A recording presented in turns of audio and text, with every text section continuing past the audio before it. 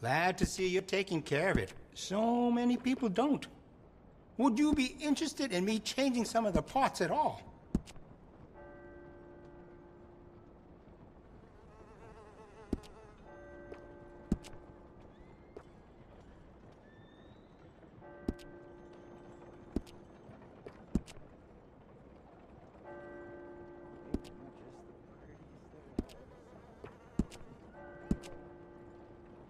We also offer an engraving service in case you are interested.